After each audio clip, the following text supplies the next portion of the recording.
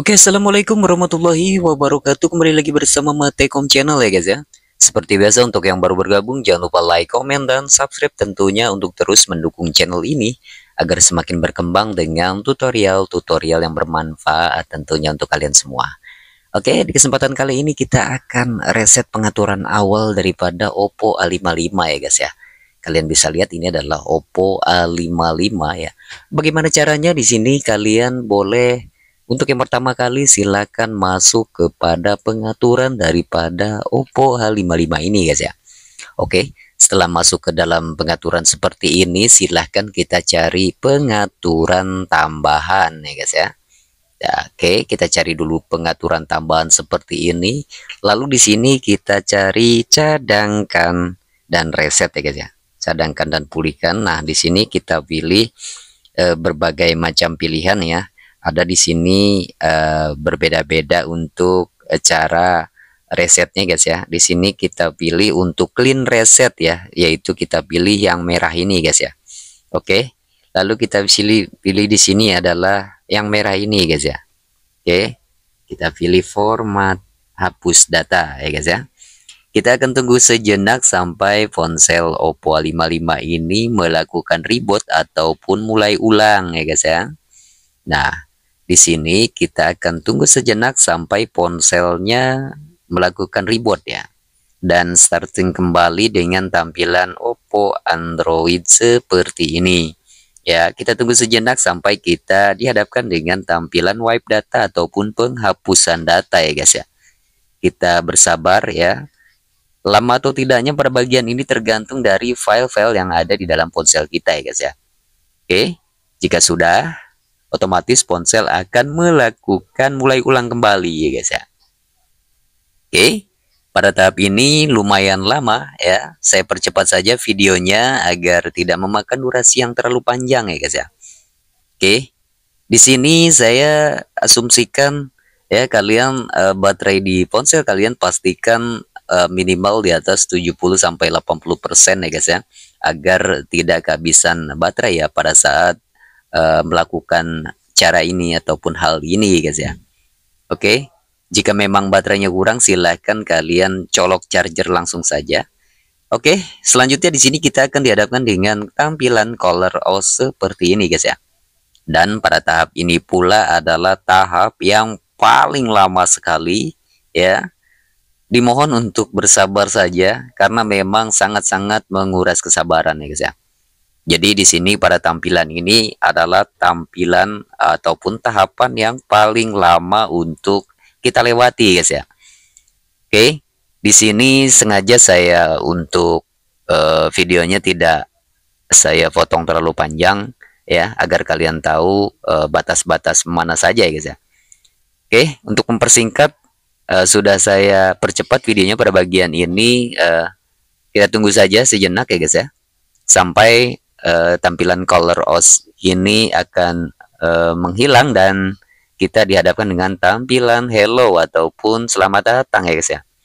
Oke di sini tinggal kita setup saja ya kita pilih uh, bahasa serta wilayahnya seperti biasa bahasa kebanggaan dan wilayah kita ya yaitu Indonesia. Oke tinggal kita lanjutkan lanjutkan dan kita setup aja seperti ini dan ikuti langkah-langkahnya guys ya. Oke, yang perlu kalian tahu untuk melakukan cara ini tidak akan uh, tersangkut ataupun uh, terkunci akan akun Google-nya ya. Karena kita melakukan uh, reset ini melalui pengaturan nih guys ya. Oke, pada tampilan ini ataupun tahap ini silakan di checklist untuk keempat pilihan ini ya. Kita checklist semuanya ya. Lalu kita pilih jaringannya ya. Silakan masukkan uh, kartu SIM-nya yang ada datanya ataupun uh, koneksi jaringan WiFi-nya guys ya. Oke, jadi seperti itu. Oke, di sini saya akan uh, menghubungkan ke jaringan WiFi sejenak ya untuk uh, melakukan setup ini ya sebagai pelengkap ya guys ya. Oke, kita akan loginkan dulu untuk WiFi-nya dan saya sudah terhubung dan kita ikuti uh, selanjutnya ya guys ya. Di sini tahapan apa lagi dan kita pilih selanjutnya ya guys ya. Dan selanjutnya kembali ya kita tunggu sejenak sampai kita dihadapkan dengan tampilan menyiapkan ponsel ya guys ya seperti ini. bagian ini pula uh, sangat lama ya guys ya. Memakan waktu yang bermenit-menit tergantung daripada koneksi internet kalian ya. Dimohon bersabar saja pada saat uh, tampilan seperti ini karena memang uh, sangat uh, menguras kesabaran ya. Oke kita tunggu sejenak saja di sini videonya saya percepat untuk uh, menghemat durasi ya guys ya agar kalian tidak bete untuk melihat video ini oke okay? kita tunggu sampai tampilan selanjutnya guys ya Oke, pada tahap ini kita pilih jangan salin ya guys ya. Kita kembali diminta untuk uh, memeriksa info ya. Kalian jangan khawatir di sini kita bisa untuk uh, memasukkan email lama ataupun email baru ya. Jadi jangan khawatir terkunci akan akun Google-nya untuk melakukan cara ini ya, untuk membersihkan ponsel kalian ya. Kita tunggu sejenak sampai kita dihadapkan dengan tampilan berikutnya guys. Oke ya lama atau tidaknya gimana ataupun tergantung dari sinyal internet kalian masing-masing ya nah di sini kita pilih pilih lewati saja untuk memasukkan email ya dan di sini kita pilih selanjutnya selanjutnya dan selanjutnya ya sampai kita dihadapkan dengan tampilan home screen daripada Oppo A55 ini oke untuk bagian ini silakan di uh, unchecklist saja karena memang ini adalah aplikasi tambahan yang harus uh, kita unduh ya Oke, di sini di unchecklist saja nanti kita bisa pilih-pilih ketika memang kita sudah berada di dalam home screen-nya ya guys ya. Oke. Oke, ya. Tinggal sedikit lagi saja. Oke.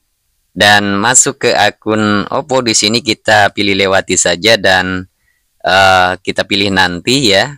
Dan untuk navigasi silahkan tinggal kalian pilih mana yang akan kalian pilih. Saya pilih yang sebelah kiri dan kita pilih selesai ya guys ya nah dan sini kita pilih app market kita lewati dan di sini kita pilih memulai ya guys ya dan kita akan dibawa ke tampilan home screen daripada Oppo A55 ya guys ya dan siap untuk kita gunakan kembali ponselnya oke jadi seperti itu ya guys ya mudah begitulah cara untuk uh, melakukan reset pengaturan awal ataupun reset pabrik di Oppo A55 ini ya. Kalian jangan takut uh, untuk melakukannya. Ya jangan takut untuk terkunci akan akun Google-nya ya. Karena itu tidak akan terkunci ya guys ya. Oke, kalian bisa bebas melakukan masukkan uh, email lama ataupun email baru ya guys ya. Oke. Jadi seperti itu. Nampaknya cukup sampai di sini video kali ini. Saya Matekom akhir kata. Assalamualaikum warahmatullahi wabarakatuh. Bye bye.